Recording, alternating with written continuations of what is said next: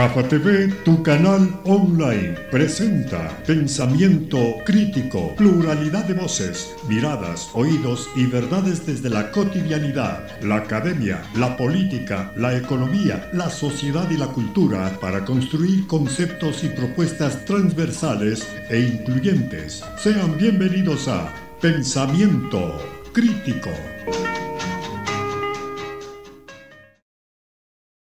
Amigos de GAFA TV Ecuador, tengan ustedes muy buenas tardes. Bienvenido a Pensamiento Crítico, el programa de entrevistas de GAFA TV Ecuador. Esta tarde nos acompaña el doctor Luis Calero, él es analista petrolero. El tema, la concesión de la refinería de Esmeraldas y la situación de industria petrolera ecuatoriana. Para tratar ese tema, vamos a dar paso a nuestro compañero, como todos los días, Fernando. Bienvenido, muy buenas tardes.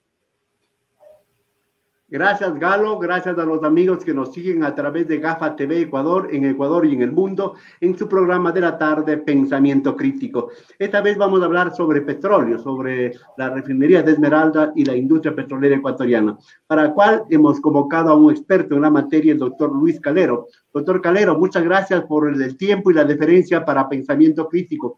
Para comenzar, quisiera preguntarle para ir contextualizando, qué significado, qué representa, qué constituye la refinería de Esmeraldas para los ecuatorianos, para el Estado y para el presupuesto del Ecuador.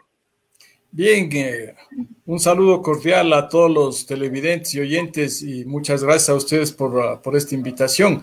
Mire, realmente la refinería de Esmeraldas es un referente en la industria petrolera y es de todas maneras uh, un elemento fundamental en la economía del país en los últimos 40 años. Desde que comenzó a funcionar la refinería de Esmeraldas, realmente su aporte, pese a todos los vaivenes, todos los problemas de carácter operacional, de carácter financiero, todas las críticas habidas y por haber, los atracos incluidos, los de antes, los de recién, los que posiblemente vendrán. Digo, pese a todo eso, la refinería de Esmeraldas ha sido significativa para la economía nacional. La cantidad de barriles de petróleo que ha, que ha procesado esa refinería realmente es, eh, es, es impresionante, ¿sí? durante toda su, su vida útil. Entonces, yo creo que cuando hablamos de la refinería de Esmeraldas, estamos hablando de una parte importante de la historia de la industria petrolera ecuatoriana.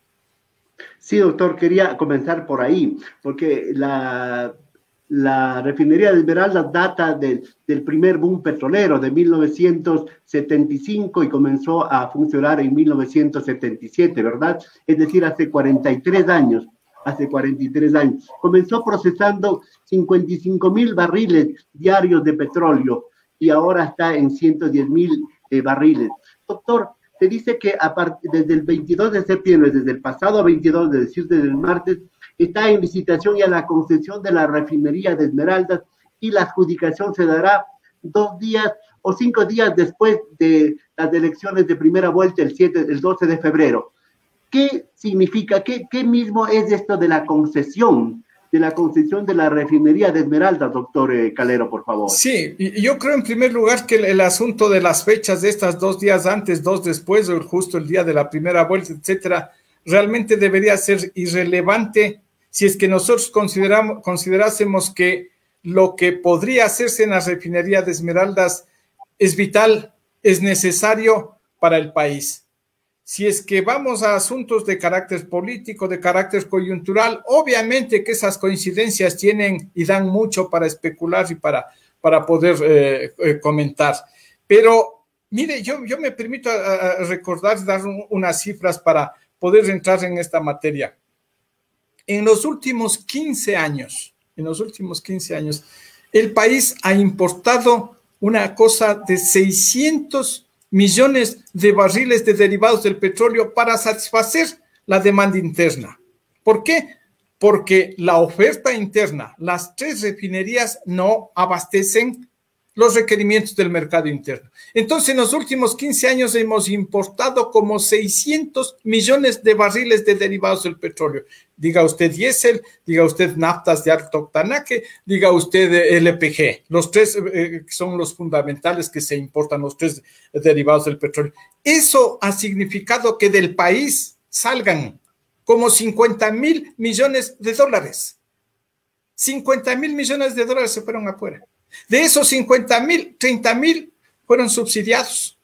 Es decir, el fisco recaudó, recuperó apenas 20 mil millones. Bien, entonces ese es el contexto en el que se da este proyecto. Y no solo este proyecto, porque aquí sería indispensable hacer un poquito de historia y ver que justamente desde hace 15 años, desde hace 15 años, antes del golpe de Estado al coronel Gutiérrez, unas semanas antes, él había expedido un decreto ejecutivo declarando como obra de prioridad nacional la construcción de una refinería en Jaramijó. Entonces ya se pretendía solucionar este problema, estos dos déficits que yo digo que tenemos, el un déficit, el de volumen, el de cantidad de combustibles y el otro déficit, el de calidad de combustibles. Entonces se pretendía construir una refinería en Jaramijó, vino el golpe de Estado, vino el señor, el, doctor Palacios, dijo no, no va eso, Vino el economista Correa con el eh, presidente de entonces de, Venezuela, dijeron vamos a construir una refinería acá, eh, la del Pacífico, la refinería Eloy Alparo, refinería del Pacífico y no sé cuánto. Todos sabemos la triste historia que ha significado para el país ese proyecto. Luego viene el presidente Moreno. El presidente Moreno dice, no, no, ya no se llama refinería del Pacífico, ahora se llama refinería de Manabí. Y comienza también un, itinerante ministro de, Industrias, de Comercio Exterior, perdón, y dice, tengo por decenas los interesados en invertir en una nueva refinería. Total, nada. El año pasado, hace un año y medio, hace un año y medio, aparece por Esmeraldas un señor Bulmaro, me parece que es eh, algo así, que se llamaba este señor Delgado, un señor Delgado. Delgado. Sí, y dice más o menos como yo tengo aquí 6 mil millones para construir una nueva refinería aquí, donde está la, esta planta. Luego me van a alquilar solamente unos tanques y unas instalaciones auxiliares. Y entonces, y apoyado porque dice que recién le conoció un consultor que tenía el presidente Moreno, un señor Cuesta. Entonces, recién se conocieron, dice, pero sí, sí, le acompañó a la rueda de prensa. Y mire usted que se ve forzado el entonces ministro de, Energía del Ecuador, Pérez, y dice, no, las refinerías esmeraldas no se, va, no se va a cerrar, vamos a incursionar en un proyecto, ¿no es cierto?, para mejorarla, ampliarla, etcétera. Entonces, si usted se percata, esto viene desde hace un año y medio, y se demoraron hasta abril de este año que el presidente de la República emite un decreto declarando, eh, autorizando declarando la excepcionalidad y autorizando que se busque un, socio estratégico, ¿no es cierto?, para, para Petroecuador. Se demoraron tanto tiempo. Entonces, ahora al año y medio de eso, estamos todavía conversando sobre este asunto. ¿Sí? Doctor, doctor, ¿eso significa que los ecuatorianos somos muy ingenuos o, o qué somos? En primer lugar, yo recuerdo, yo era joven todavía, cuando era el boom petrolero en los años 70 Qué buena memoria la suya, qué buena memoria. Se de cuando era joven.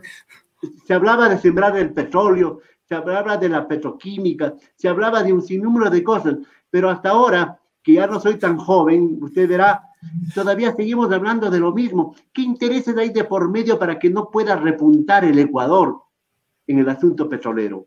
Y, me hace acuerdo que eh, por allá eh, en el gobierno del extinto presidente Roldós, ya se autorizó, se compraron los terrenos y comenzaba prácticamente la construcción del complejo petroquímico Atahualpa.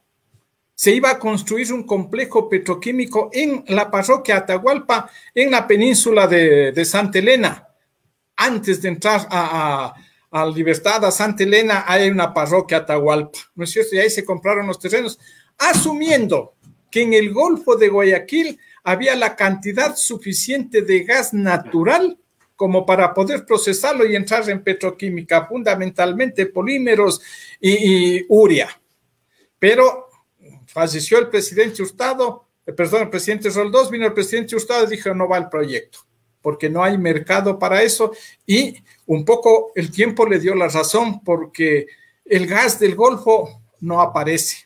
Bien, ese es otro de los proyectos fallidos en cuanto a lo que sería la industria de la, ah, industrialización del petróleo en el país. Ahora, ¿por qué no eh, eh, han surgido efecto o, continuamos hablando de lo mismo más o menos?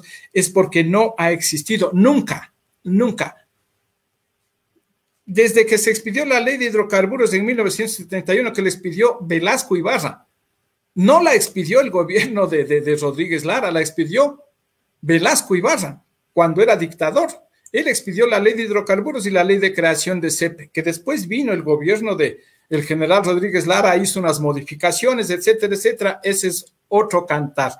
Pero yo digo, desde ahí nunca ha existido una planificación estratégica, una política integral en materia de hidrocarburos. Lo que han existido son determinadas expresiones para los relacionamientos contractuales entre el Estado y las compañías privadas. Eso es lo que, que la una modalidad, que la otra modalidad, que aquí le puse, que aquí me que aquí no aparece. Pero una política integral de hidrocarburos no ha existido y no existe. Entonces, ese es parte del problema de por qué andamos cada vez a brinco de mata.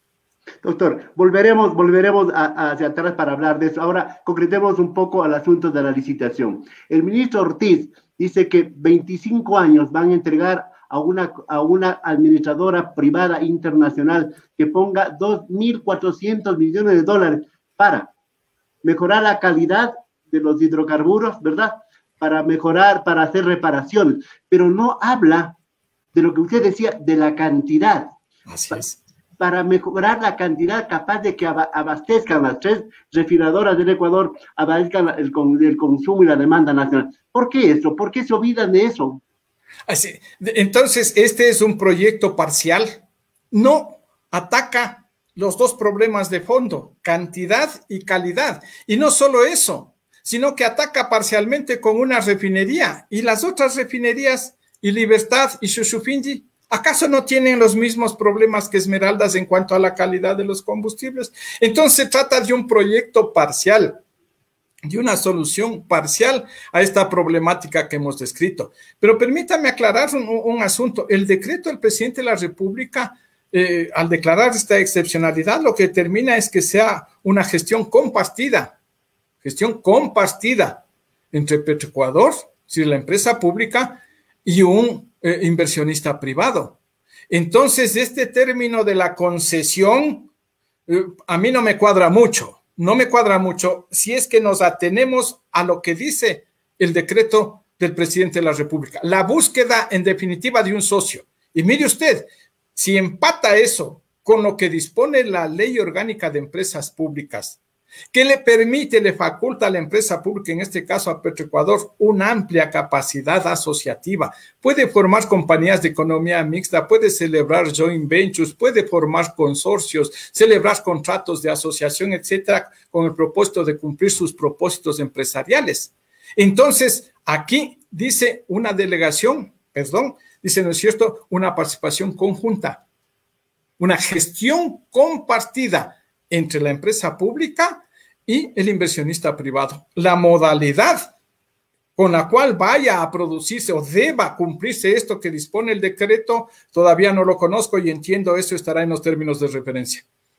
Doctor, en todo caso hay que tomar en cuenta que el asunto petrolero es estratégico, pues, y, el, y Ecuador no puede entregar su total administración y peor su propiedad a, manos, a manos extranjeras o a inversionistas. Y tomando otra cosa en cuenta, por 25 años, en 25 años el inversionista va a sacar con creces los 2.400 millones que invierta, pues. A ver, verá, vamos de nuevo, retornemos a la Constitución de Montecristi. La Constitución de Montecristi, efectivamente, en el artículo 313, reserva para el Estado la competencia para administrar, para regular, para controlar y gestionar los sectores estratégicos. Entre ellos, obviamente, los hidrocarburos. Pero el artículo 316 de la misma Constitución le permite delegar a la iniciativa privada o a la economía popular y solidaria, delegar la gestión de esos sectores en casos excepcionales previstos en las respectivas leyes. Aplicando eso, esa facultad constitucional, en el gobierno anterior del economista Correa, se entregó a la iniciativa privada, se entregaron varios campos petroleros. Usted se acordará de las joyas de la corona.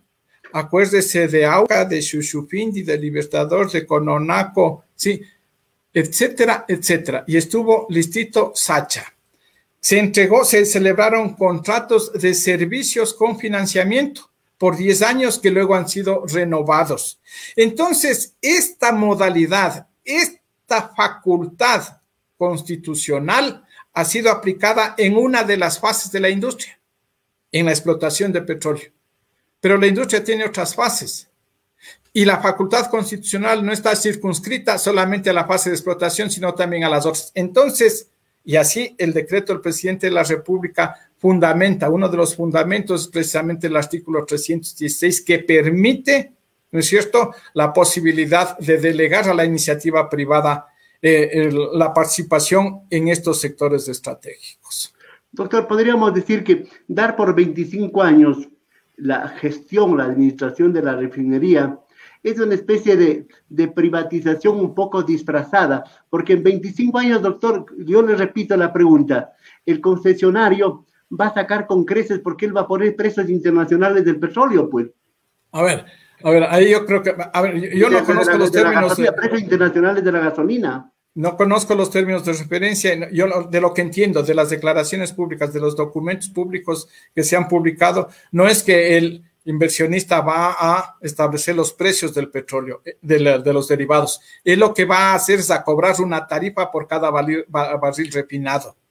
¿Sabe qué va a hacer él? Él va a instalar un tren de alta conversión, es decir, una instalación adicional para reprocesar los residuos que genera este momento la refinería de Esmeraldas. Este momento la refinería de Esmeraldas genera más de 50 mil barriles diarios de residuos que no tienen un valor eh, significativo, que no sirven para el, consumo automotriz. Entonces, esos 50 mil barriles de residuo van a ser reprocesados en esta planta de alta conversión y va a obtener usted diésel de calidad. Ese es el uno, uno de los, de los objetivos. Entonces, estos señores Obviamente, yo no sé de dónde sacan, deben tener alguna referencia a los 2.400 millones, yo creo que para eso es la licitación y verá, se verá cuánto es lo que ellos proponen o cuánto van a invertir. Pero bien, entonces aquí el asunto es que ellos van a recibir una tarifa por barril eh, eh, refinado y se asumiría, vamos, si usted quiere menos tiempo, menor cantidad de años de, la, de esta asociación, de esta sociedad, Simple y llanamente, la tarifa tendría que ser mayor. Es decir, a mayor tiempo de amortización o de esta sociedad, la tarifa va a ser menor. A menor tiempo, la tarifa tendría que ser mayor. Entonces, en eso hay que estar muy claros. El inversionista, obviamente, que va a recuperar su inversión y la utilidad. Doctor, y poniéndonos a pensar en 25 años del Ecuador para recuperar el manejo y la gestión de la refinería de Esmeraldas, tendrá que pagar algo al concesionario o pasará lo que pasó con Texaco, que el Ecuador recibió una chatarra.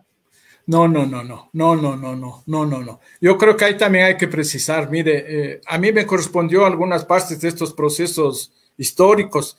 Eh, me, correspondió cuando Anglo entregó la refinería, me correspondió cuando los depósitos, le estoy hablando desde el año 77 que yo ingresé a la Corporación Estatal Petrolera Ecuatoriana.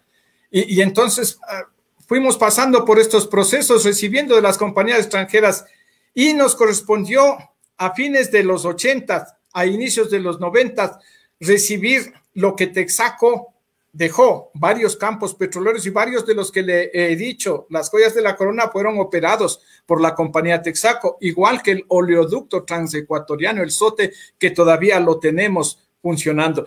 Entonces, y, hay que acordarse también que los dos últimos años eh, de, duración del consorcio, de vigencia del consorcio, quien operó fue Petroecuador. Entonces, no me parece muy justo decir que lo que recibimos fue chatarra. A mí, en lo personal, no me consta que haya sido chatarra lo que se recibió. Pero obviamente que la empresa ganó dinero, vino, hizo dinero y le correspondió irse. Bueno, y, también, también dejó un poco contaminado al oriente, ¿no? Pero por supuesto que sí, por, ese es otro, claro, pero por supuesto que sí. Por supuesto es otro tema. Que la Doctor, en todo caso, a ver, ¿conviene o no conviene esta concesión que está haciendo el gobierno, doctor? Por una parte. Por otra parte, ¿no sería más prudente dejar que el próximo gobierno haga esa tarea? ¿Sería más coherente? ¿Qué le parece a usted? A ver, coherente con el país, no. Coherente con los cálculos políticos, sí. Mire, si ya se esperó un año y medio que se demoró por ineficiente este gobierno en tomar la decisión, ineficientes, toman al año y medio, deberíamos esperar prácticamente otro año más para una decisión que no tiene que ser de gobierno, sino de Estado. Porque el problema es del país, independientemente del gobierno, de la, de la orientación ideológica del partido político del nuevo gobierno, ¿acaso que no va a tener el mismo problema del déficit de combustibles y de los problemas de calidad de los combustibles? ¿Acaso no era ya urgente ayer solucionar estos problemas? Entonces, yo en lo personal, yo digo, bueno, si los tiempos, los tiempos de este proceso dan en determinado momento porque si piden ampliaciones, etcétera, se dan ampliaciones y corresponde ya que sea el otro gobierno el que adjudique que lo sea. Pero yo creo que es hora de madurar desde el punto de vista de los actores políticos y considerar que existen problemas en el país que tienen que ser solucionados con políticas de Estado.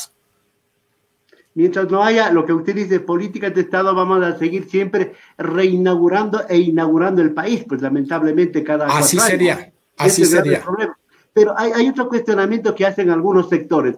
El señor ministro de, de, Energía, el doctor Ortiz, él siempre ha estado vinculado con las empresas petroleras, ha estado vinculado con grandes intereses petroleros. No, le creo. ¿No habrá conflicto de intereses ahí?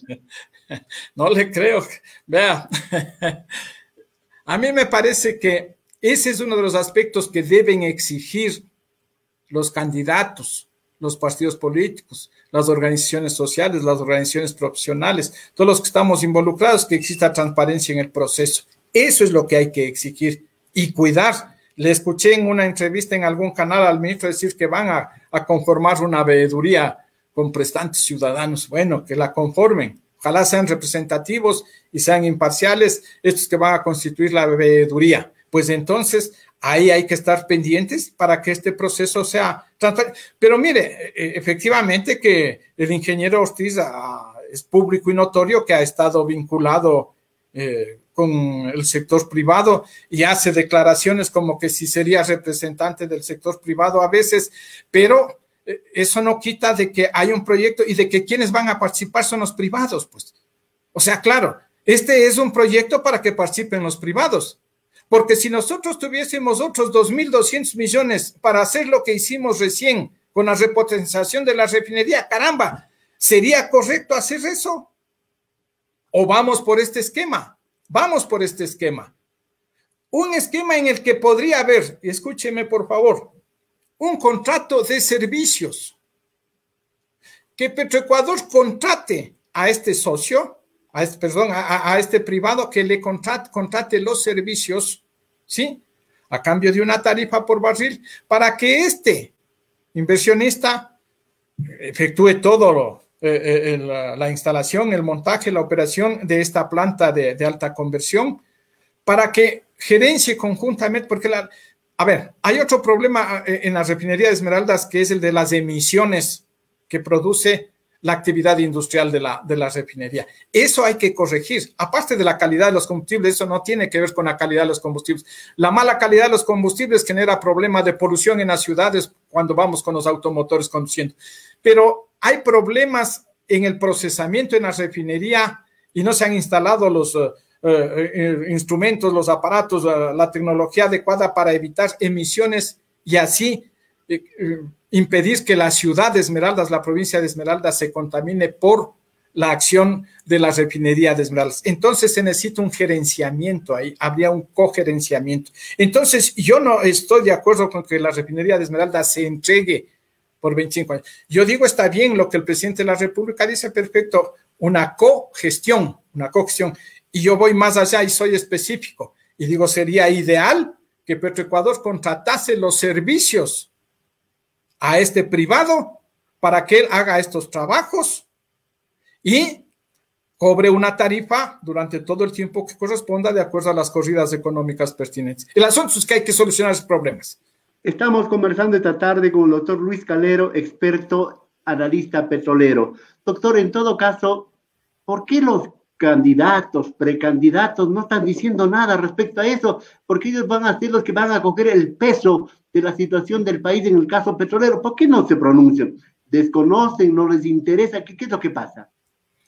Yo, yo quisiera entender que este rato están preocupados obviamente en el tema de la calificación de sus listas, de sus candidaturas, a ver si entra fulano, si se le descalifica sutano. Es decir, estos días eh, eh, eh, ellos tienen otras prioridades y debe entenderse, debe entenderse que todos ellos ya tienen un plan de gobierno.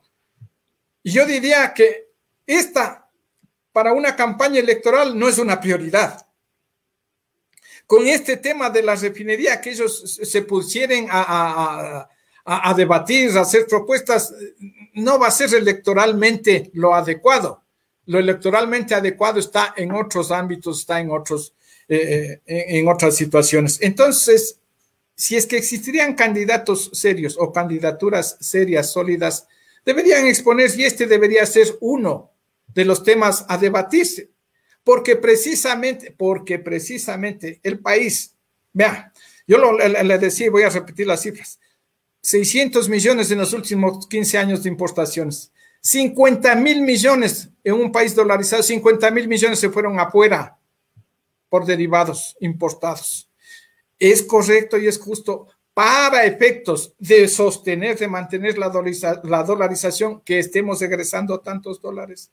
Entonces, este tema debería ser, sí, uno de los aspectos fundamentales en los planes de gobierno de los candidatos. Ojalá lo veamos en los próximos días después que se formalice las candidaturas y ya estén fijos en la papeleta. Hay un tema, en el mismo caso petrolero, ¿cómo ve usted el asunto de la fusión entre Petroecuador y Petroamazonas? ¿Cómo está avanzando eso y qué, qué ganamos con aquello? A ver, primero voy, voy por lo último que usted pregunta lo que se está haciendo es recomponiendo lo que el economista Correa descompuso. Él descompuso el esquema al separar la actividad de exploración y explotación de petróleo de Petroecuador y trasladarla a Petroamazonas. Él descompuso esa situación. Él tenía su esquema de política económica basada en la explotación petrolera, en la disponibilidad del crudo para sus contratos con China, etcétera, etcétera. Entonces, de una manera, de igual manera tardía, el actual gobierno dispuso la fusión de Petroamazonas y Petroecuador. Pero yo lo que dije algún momento en algún medio, lo que costaba hacer en 20 minutos, el presidente de la República dispuso para que se hiciera en 20 meses.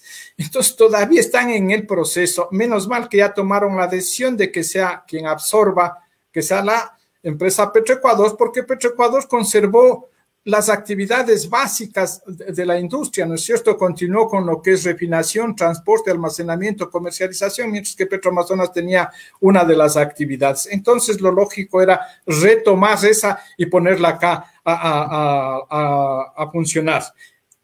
Desde ese punto de vista es correcta la decisión. Lo que a mí no me parece es pretender convertirle a Petroecuador en una empresa de energía. A ver, los hidrocarburos son una fuente de energía una de las fuentes de energía.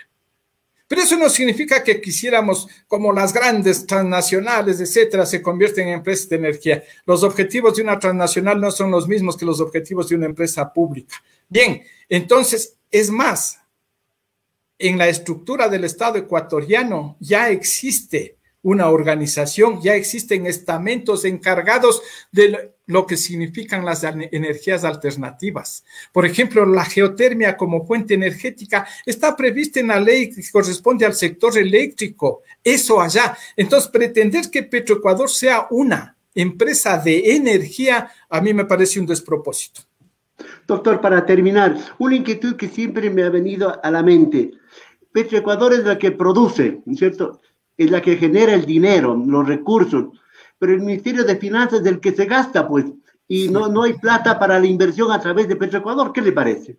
Es esa, esa es la verdad. Mire, desde el 2008, la nueva constitución La nueva constitución pretendió ir, digo yo, a lo que ellos llamaban la, una economía postpetrolera y desvincula del presupuesto del Estado los ingresos petroleros y dice que los ingresos de las empresas públicas, entre ellas las que van a manejar el petróleo, por ejemplo, los ingresos de las empresas públicas no deben formar parte del presupuesto del Estado. Primero. Segundo, que solo los excedentes que generen estas empresas van al presupuesto del Estado.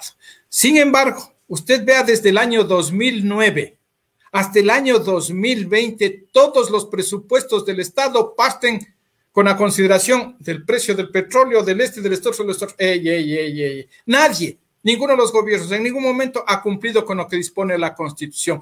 Y entonces Petroecuador habría tenido y Petroamazonas habrían tenido los suficientes recursos para poder invertir, reinvertir, generar excedentes que irían al presupuesto del Estado para sus proyectos de carácter social y, lo, que puede. Entonces hay un incumplimiento de lo que dispone la Constitución. Es decir, se hace todo lo contrario de, lo que la ley, lo que la Constitución dispone y son hechos por los mismos, por los mismos que ahora gobiernan. Así es, señor para terminar y agradecerle su deferencia a nuestro programa, en pocas palabras, ¿cuál es el futuro de la industria petrolera ecuatoriana hasta que lleguen las, energías alternativas definitivamente? Mire, yo creo que lo de las energías alternativas es un tema que va a, a, conversarse durante algún tiempo. Tienen un crecimiento rápido, sostenido, pero en unas dimensiones de lo que se requiere eh, como fuente de energía y como generación de productos y subproductos, que es la petroquímica. Son cientos de miles de subproductos generados por petróleo que serán irreemplazables. Yo le veo, no le veo como competidora ya a las energías renovables en el, en el Ecuador, no le veo, pero sí me parece indispensable que mientras los partidos políticos, que mientras los políticos no propongan políticas de Estado, planificación estratégica de la energía en el país. Mire usted, nosotros debemos estar apuntando al gas natural. Y si no tenemos cantidades suficientes para que parecería que no las hay en el Golfo de Guayaquil, que no, no disponemos a comprar, a importar gas natural. Todos los países del mundo están relacionados. El gas natural es mucho más barato mucho menos contaminante y puede generar un cambio significativo. Le pongo solo un ejemplo de lo que debería constituir una política de largo plazo en materia energética y dentro de la materia energética el tratamiento de los hidrocarburos. ¿Sabe usted, mi estimado amigo, cuál es el horizonte petrolero del Ecuador? ¿Quién ha establecido cuál debe ser la relación reservas-producción? ¿Sabemos cuánto tenemos de reservas y para cuántos años, cuántos años nos durará? Sabemos, algunos tenemos información, pero vaya a ver si a los políticos les ha importado un pepino. Estos son temas fundamentales para el país. Entonces, el panorama será sombrío en la medida en que no cobren conciencia de planificar estratégicamente estos recursos los políticos. Lamentablemente, y con la corrupción en auge, estamos realmente eh, complicados. Y es más, haciendo, retomando el nombre de un libro, usted recordará, El oro del diablo el oro del diablo, el oro de la corrupción y el oro de la pobreza, que lamentablemente, ojalá algún rato se piense en una política de Estado para utilizar estos recursos para sostener la vida, la salud, la educación y todo lo que pertenece al pueblo ecuatoriano. Doctor, muchas gracias por su tiempo, por su paciencia y por sus comentarios, muy amable. No, muy amable a usted. Y, permítame concluir. Yo desde hace algún tiempo en solitario, en solitario vengo proponiendo la creación de un fondo petrolero yo decía un fondo de la esperanza y de la gratitud, la esperanza que sirva para los niños y de la gratitud para los de la tercera edad, un fondo petrolero, un fondo que se nutra de los ingresos petroleros, un fondo de ahorro y de inversión. Ojalá algún día lleguemos a eso. Ojalá podamos nosotros ser beneficiarios de ese fondo, pues querido doctor. Muy amable. Muchas gracias. un gusto, un gusto. Señoras y señores, muy amables por la atención a este diálogo de pensamiento crítico a través de GAFA TV Ecuador. Ha comparecido el doctor Luis Calero, experto petrolero. Señores, nos vemos mañana. Hasta la próxima.